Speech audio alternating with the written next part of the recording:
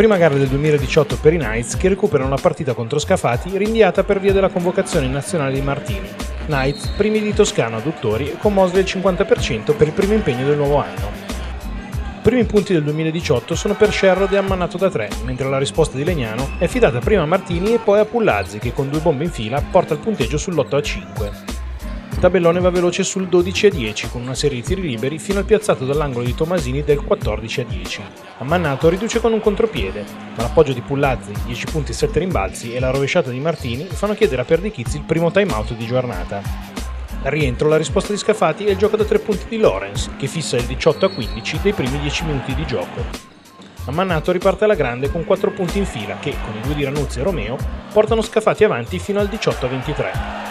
Ferrari ferma la gara, ma al rientro segnano ancora Crow e Lorenz, con il solo Mosley 15 punti, 12 rimbalzi e 3 stoppate, a ribattere da sotto. Tomasini infila la tripla del 23-28. Raivio si sblocca con il libero del 24-28. Poi Martini si allunga per il 26-28 in un buon frangente biancorosso. Spizzichini appoggia il vetro il più 4 per i suoi, Sherrod invece schiaccia il 26-32 e nel momento migliore di Legnano Scafati allunga di nuovo. Zanelli scalda l'ambiente con la liupa per Mosley, poi ancora lui appoggia il 30-32 simile al 30-35 dopo la bomba di Ammannato, 21 punti alla fine.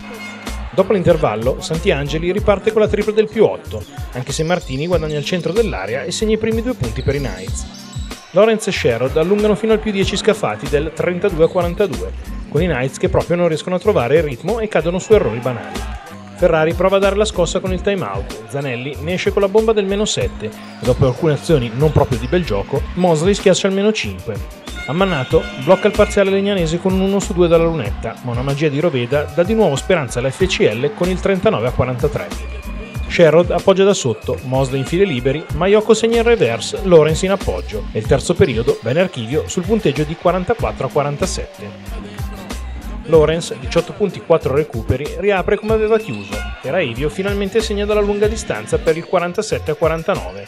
Ci prende gusto e il secondo siluro manda i Knights in vantaggio sul 50 a 49 dopo lungo tempo.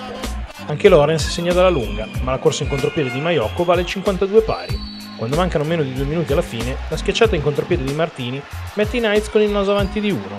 Poi il tiro di Zanelli esalta il Palaborsani per il 57-54 che costringe per Richiz il timeout.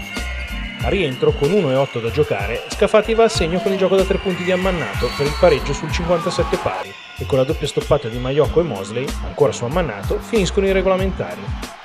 Martini, 15 punti 4 assist, riapre con l'appoggio da sotto, ma Sherrod sguscia sulla linea di fondo per il nuovo pareggio di una gara non bella ma di certo molto equilibrata. Mosley prende posizione e il suo tiro finisce dentro il canestro dolcemente per due volte in fila, con il tabellone che segna il 63 a 59. Poi Spizzichini mette un importante 2 su 2 e con la tripla di Lorenz Scafati torna avanti per 63 a 64. Raivio segna dalla classica uscita dalla rimessa da fondo, mentre Sherrod, 16 punti 15 rimbalzi, inverte il vantaggio con i liberi del 65 a 66. Shard infine inchioda la schiacciata del 65-68 e negli ultimi 15 secondi di gara Lignano spreca un paio di palloni che, dopo il fallo sistematico, fanno arrivare la prima sconfitta nel 2018 con il punteggio di 67-70. Una gara delle occasioni perse che entrambe le squadre non sono riuscite a giocare come probabilmente avrebbero voluto. Legnano un po' stanco in attacco e non efficace difensivamente come al solito. Scafati più opportunista, anche se alcuni errori non forzati avrebbero potuto chiudere la partita molto prima del tempo supplementare. Poco spazio per pensarci, visto che tra pochi giorni Legnano sarà di nuovo in viaggio per Rieti, in una delle trasferte più difficili dell'anno.